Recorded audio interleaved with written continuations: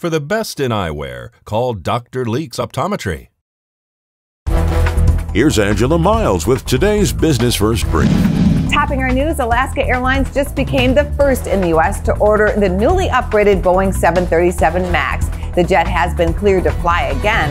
Alaska has placed an order for 68 of the new 737 MAX 9 jets.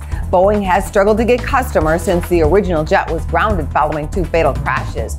Checking the economy, GDP increased 33.4% in the third quarter, due in large part to $3 trillion in stimulus coming from the government. GDP remains 3.5% below its pre pandemic level. Existing home sales slid 2.5% between October and November. Consumer confidence sank to 88.6 in December from 92.9 in November. Google is fighting the Justice Department over claims the search company has built up a monopoly. That landmark case goes to court September 12th of 2023.